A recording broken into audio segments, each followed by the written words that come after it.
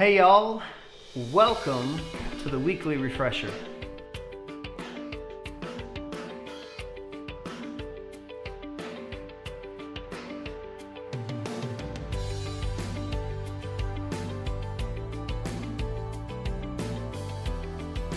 Man, this past Sunday was an amazing service. I'm not sure in two and a half years if I have heard Andrea Carter sing and worship on the level that she did Sunday. And Chris Cawthon, as always, was amazing.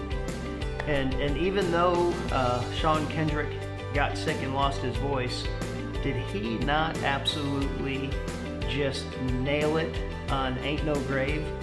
I was laughing when I came in Sunday morning because uh, on our trip back from Colorado, I was telling Lisa we were listening to that the Bethel album and we were listening to Ain't No Grave, and I was sitting there telling her I was like, we have got to get Andrea to do this song with Sean.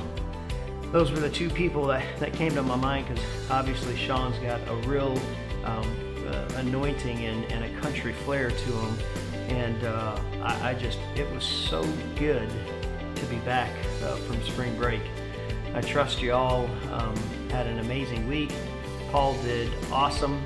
Uh, that Sunday while we were gone, I got to watch him uh, as we traveled to Pagosa via the live stream. And uh, unfortunately, the Mevo camera was dead this past Sunday, so only the podcast will be out uh, today. But I just wanted to kind of revisit this issue of apathy. Um, like I said on Sunday, when the Lord first said apathy, I heard just that one word really clear apathy. And let me read to you again, real quick, what apathy means. It says apathy is a lack of feeling, emotion, interest, or concern about something of great importance. Apathy is a state of indifference or the suppression of emotions such as concern, excitement, motivation, or passion. And it's so it's so easy to fall into a place of, of apathy in our life uh, in the midst of trials. And one of the goals of the enemy is to uh, wear down the saints. See, spirits don't get fatigued, spirits don't get tired, but we, because we're in these fleshly tents, we fatigue we need rest. Even Jesus would take the disciples and go off to the mountain and simply rest. And so I, I challenged you this past Sunday uh, to absolutely make war on apathy. How do we kill apathy? We talked about, um, actually in Revelation, one of the very first verses I felt like I was led to was the church of Laodicea. It says, Jesus said that you're neither hot nor cold. And as we dug a little bit into that text, we recognize that even in ancient uh, times, you know, 2,000 years ago, uh, hot water was very soothing, it was useful. Cold water was very refreshing and useful. And so Jesus is setting this context like, listen, I wish you were hot because I can use that. Or I wish you were cold because I can use that, but I can't use lukewarm. And lukewarm is a picture of someone who's absolutely fallen into apathy. They've become completely indifferent.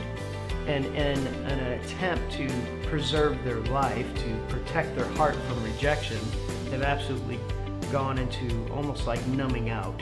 and so we set this this stage and we dug into this issue of, of apathy. We, we also looked um, at a couple other um, scriptures. We looked at the parable of the soil and remember that the different soils actually, actually represented metaphorically the human heart. We had the path, we had the rocky ground, and we had the thorns when you fall into a place of apathy, you can absolutely end up with a thorny heart, a rocky heart. Because apathy is actually the result of your heart hardening.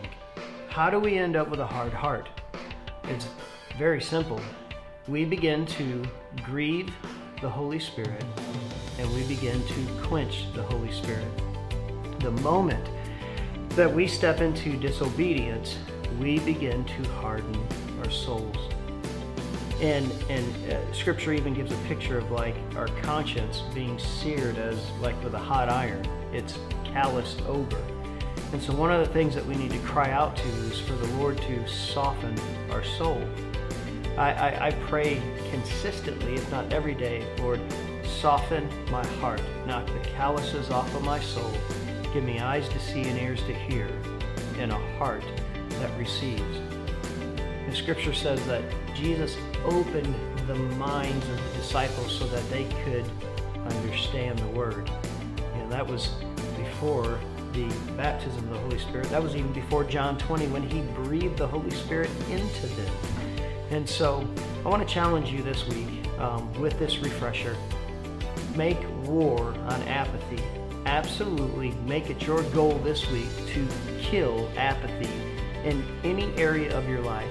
Invite the Holy Spirit into every area that you feel calloused over and allow Him to just breathe the breath of life back on those areas of your heart.